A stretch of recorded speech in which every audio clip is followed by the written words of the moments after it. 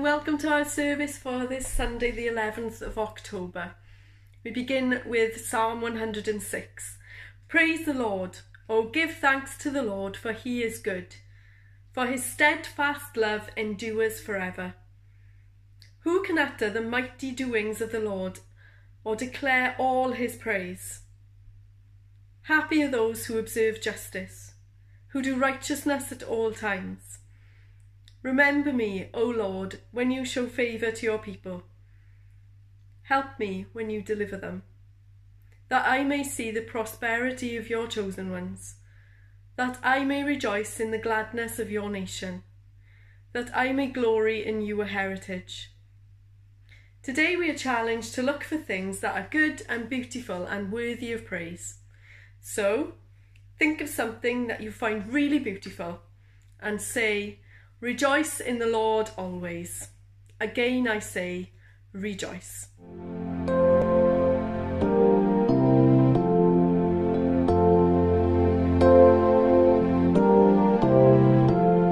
Rejoice in the Lord always, and again I say rejoice. Rejoice in the Lord always, and again I say rejoice. Rejoice, rejoice, say rejoice. Rejoice, rejoice, and again I say rejoice. Rejoice in the Lord always, and again I say rejoice. Rejoice in the Lord always, and again I say rejoice. Rejoice,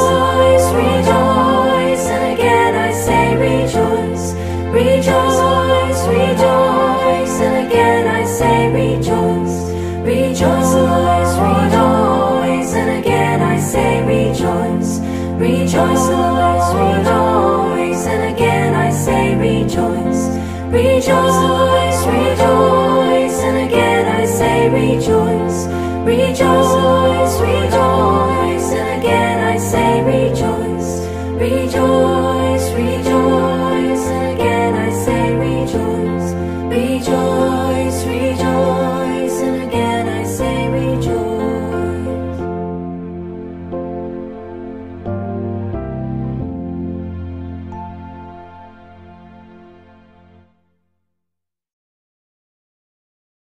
I invite you to join with us now as Jackie leads us in prayer.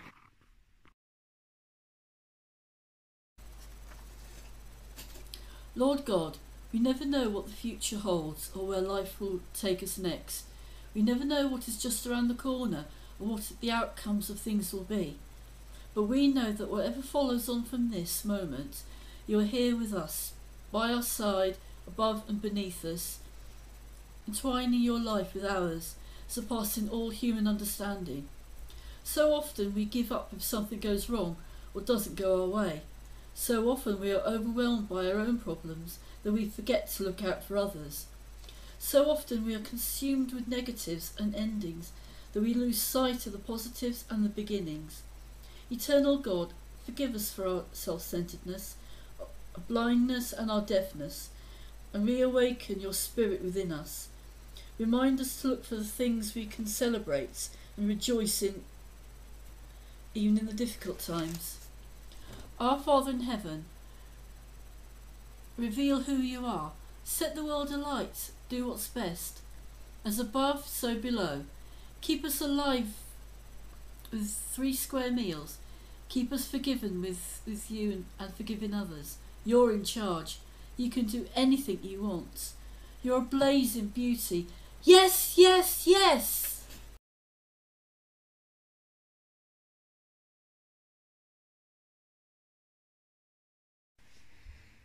I don't know about you, but we love the book Where's Wally? We love searching for him in whatever scene he's in on that particular day, in amongst all the different people that look a little bit like him or look a little bit different. Sometimes we think we found him, but actually it wasn't him. He's hidden so well. Well, today we are being asked to look for good things that we can praise God for, even when times are difficult. And that can be quite hard. A bit like when Wally's hiding really well in the picture.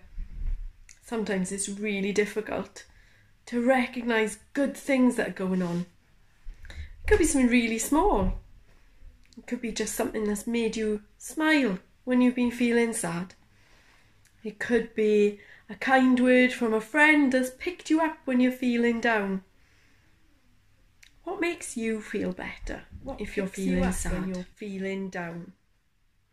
Whatever it is, if you can pick out the good things that are there, even when we're feeling sad or times are difficult, then remember to say thank you to God and praise Him because those blessings are always around.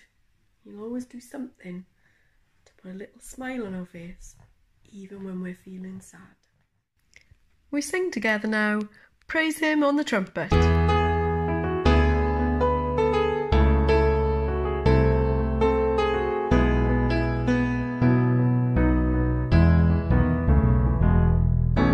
Praise him on the trumpet and the psaltery and harp. Praise him on the timbrel and the dance. Praise him with stringed instruments too. Praise him on the loud cymbals. Praise him on the loud cymbals. Let everything that has breath praise the Lord. Hallelujah, praise the Lord. Hallelujah, praise the Lord. Let everything that has breath praise the Lord. Yeah. Hallelujah, praise the Lord. Hallelujah, praise the Lord. Let everything that has breath praise the Lord.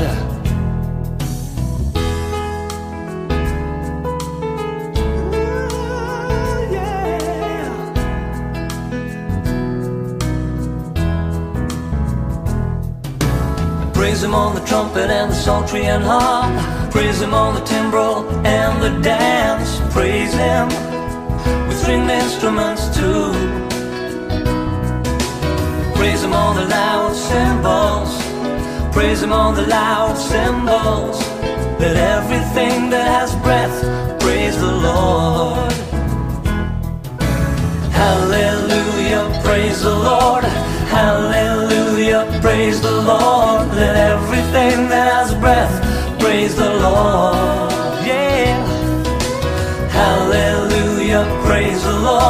Hallelujah, praise the Lord. Let everything that has breath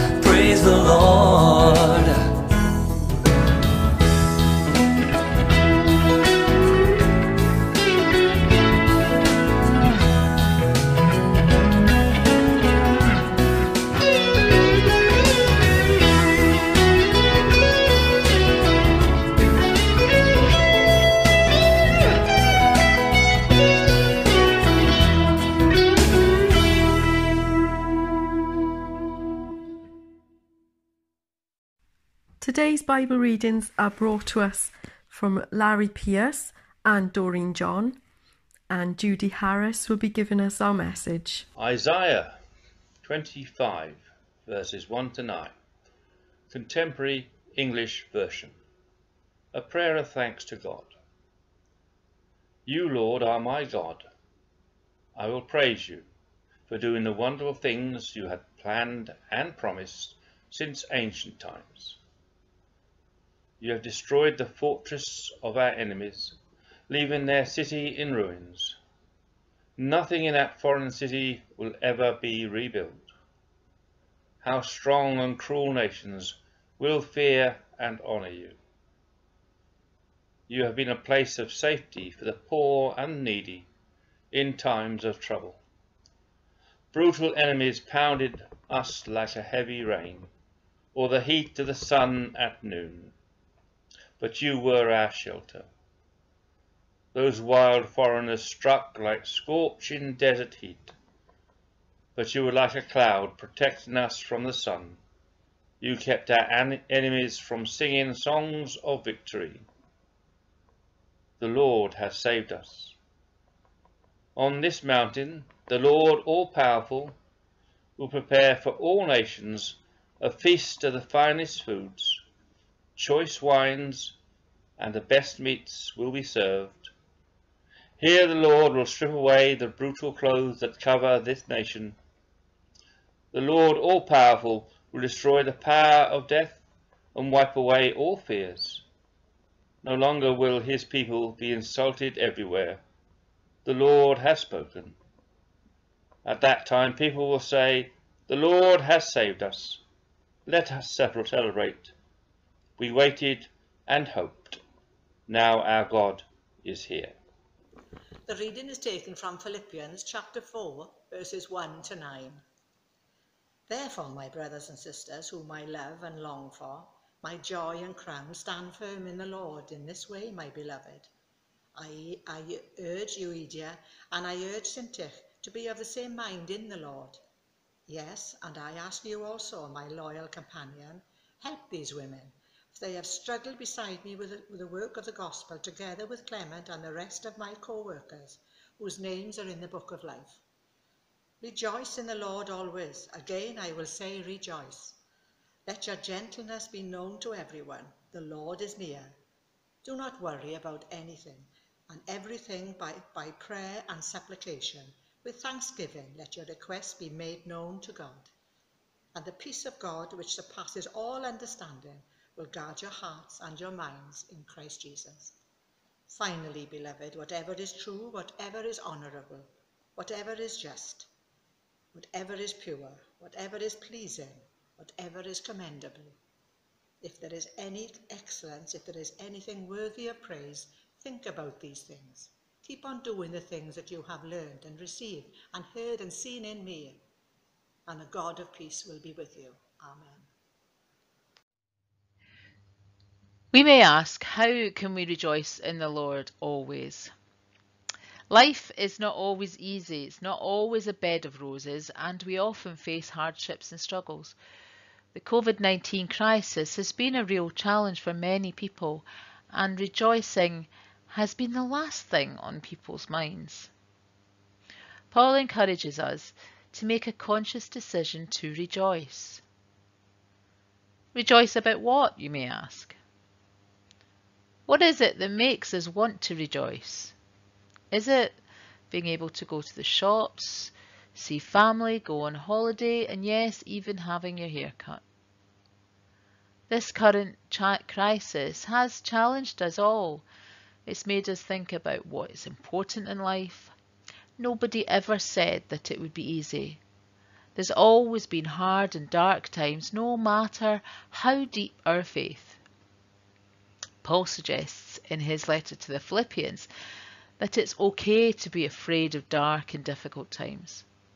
Acknowledge the darkness, just don't let it rule you. What darknesses do we face? And where is the light that we can look to?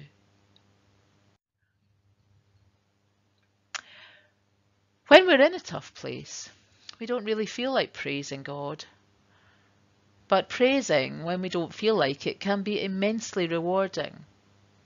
Paul tells the Philippians to rejoice even as they face uncertainty. And in this week's Isaiah reading, it's one long poem of praise from a time when it would not have been easy for God's people. Paul speaks of a sacrifice of praise in Hebrews. To praise God in difficult and uncertain times requires personal sacrifice. And when we bring to God a sacrifice of praise, we choose to believe that even though life is not going as we think it should, God is good and He can be trusted. What effect might doing this have on our relationship with God and our faith in general? The Philippians are about to find themselves alone.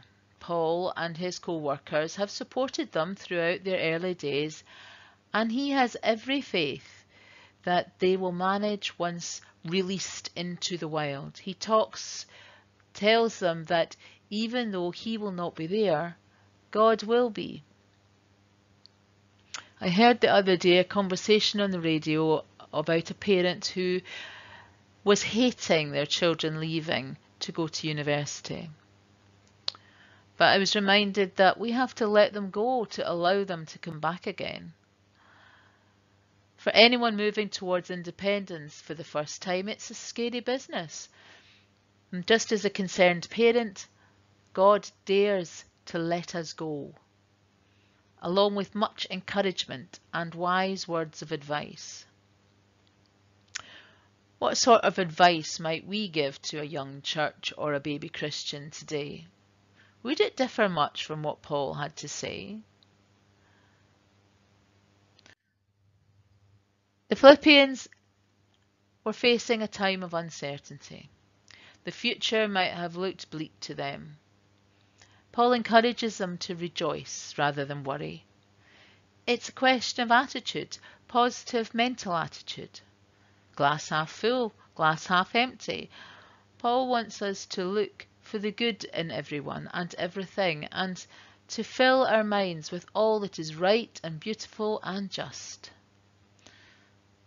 How does this contrast with the television news and social media today?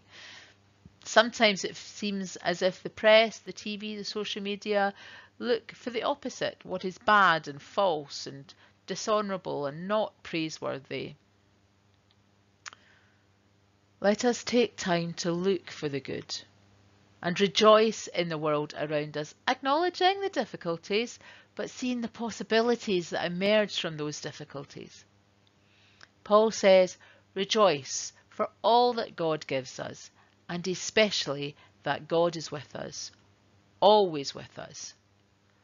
And then he says it again Rejoice.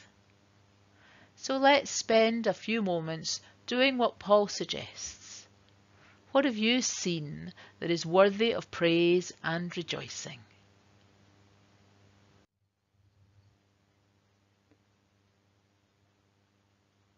Amen. Please join with us now as we sing Here I Am to Worship.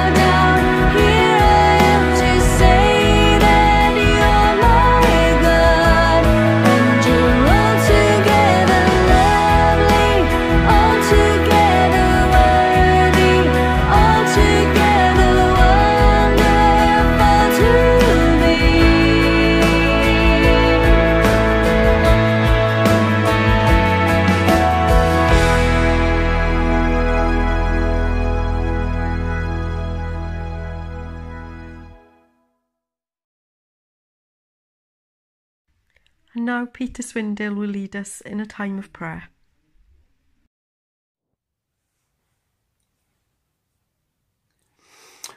O God, we come to pray not for ourselves, but for each other, for those we know and those we don't, for situations we understand and for those that confound us.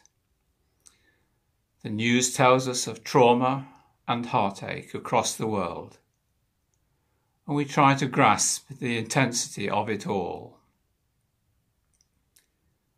Bless, O Lord, all involved in the hurting and the healing.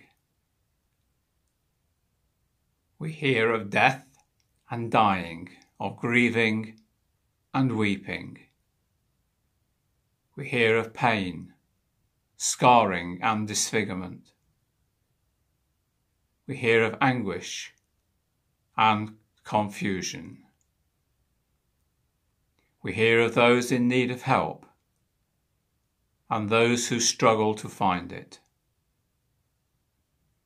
We hear of the grieving and the sorrowful. We hear of the lost and the alone. And we know, Lord, there are many others known only to you. Bless them all in their hurting and their healing. We travel the journey of life, but do not go alone, for the Lord is with us. We travel the journey of life with thankful hearts, and the Lord is with us. We travel the journey of life with each other and with the Lord, who is always with us. Amen. And as our Saviour taught his disciples, we pray, Our Father, who art in heaven, hallowed be thy name. Thy kingdom come, thy will be done on earth as it is in heaven. Give us this day our daily bread, and forgive us our trespasses as we forgive those who trespass against us. And lead us not into temptation, but deliver us from evil. For thine is the kingdom, the power, and the glory, for ever and ever. Amen.